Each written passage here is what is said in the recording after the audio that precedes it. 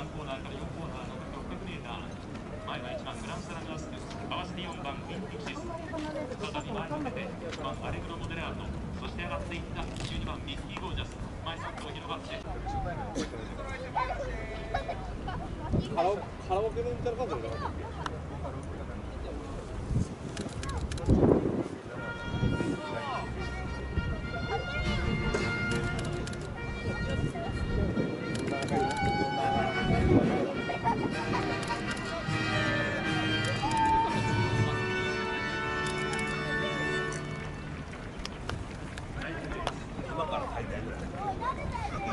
すげえよくないから。